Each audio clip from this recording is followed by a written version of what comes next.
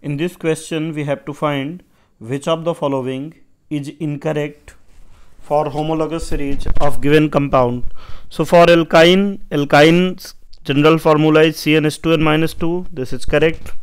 For alcohol and ether we have CnH2n plus 2O. This is also correct. For alkanal means for aldehyde and ketone general formula is CnH2n